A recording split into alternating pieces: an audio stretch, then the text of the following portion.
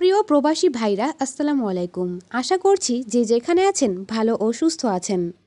শর্তের বেড়াজাল থেকে মুক্ত রেমিটেন্স। প্রবাসী আয় পাঠানোর ক্ষেত্রে কোনো ধরনের শর্ত রইল না আর। আন্তর্জাতিক বাজারে জ্বালানি ও পণ্যমূল্যের ঊর্ধ্বগতির কারণে রিজার্ভে টান পড়ার মধ্যে রেমিটেন্স পাঠানোর পথ সহজ করে কেন্দ্রীয় ব্যাংক জানিয়েছে, এখন থেকে পাঁচ হাজার ডলার বা পাঁচ লাখ টাকার বেশি রেমিটেন্স এলে কোনো ধরনের কাগজপত্র ছাড়াই পাওয়া যাবে প্রণোদনা। সোমবার সিদ্ধান্তটি জারির দিন থেকেই তা কার্যকর করা হয়েছে। বৈধ উপায়ে রেমিটেন্সের বিপরীতে প্রণোদনার প্রক্রিয়া সহজ করতে এই নির্দেশনা দিয়েছে কেন্দ্রীয় ব্যাংক।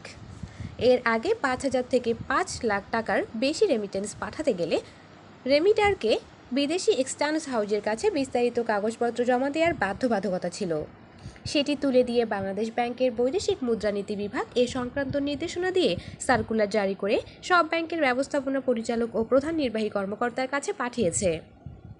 এতে বলা হয়, পাঁচ হাজার অর্থ অথবা পাঁচ লাখ টাকার বেশি রেমিটেন্স পাঠালে প্রণোদনা বা নগদ সহায়তা পাওয়ার জন্য প্রবাসীর কাগজপত্র বিদেশের এক্সট্যান্স হাউস থেকে পাঠানোর বাধ্যবাধকতা রয়েছে। এখন থেকে সরকারি সিদ্ধান্ত অনুযায়ী বৈধ উপায়ে দেশে রেমিটেন্স প্রেরণের বিপরীতে রেমিটেন্স প্রণোদনা বা নগদ সহায়তা প্রদানে রেমিটারের কোনো কাগজপত্র ব্যতীত বিদ্যমান হারে রেমিটেন্স প্রণোদনা বা নগদ সহায়তা প্রযোজ্য হবে।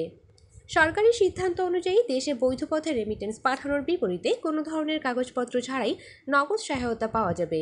প্রতি ডলারের বিপরীতে নির্ধারিত হারের অতিরিক্ত পাওয়া যাবে আরও আড়াই টাকা।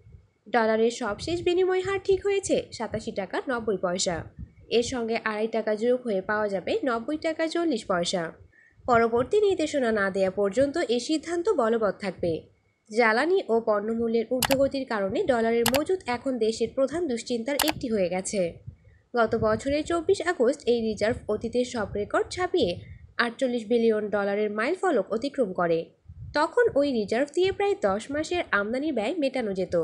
তখন অবশ্য প্রতি মাসে চার থেকে সাড়ে চার বিলিয়ন ডলারের পণ্য আমদানি হতো। তবে আমদানি ব্যয় বাড়ায় গত মে আকুর রেকর্ড দুশো চব্বিশ কোটি, দুই দশমিক চব্বিশ বিলিয়ন ডলার আমদানি, বিল পরিশোধের পর রিজার্ভ একচল্লিশ দশমিক নব্বই বিলিয়ন ডলারে নেমে আসে। এরপর সপ্তাহখানেক রিজার্ভ বিয়াল্লিশ বিলিয়ন ডলারের নিচে অবস্থান করে। রেমিটেন্স ও রপ্তানি আয় বাড়ায় গত বুধবার রিজার্ভ বিয়াল্লিশ বিলিয়ন ডলার অতিক্রম করে। গত কদিন তা আরও বেড়ে রোববার দিন শেষে বিয়াল্লিশ দশমিক তেত্রিশ বিলিয়ন ডলারে ওঠে।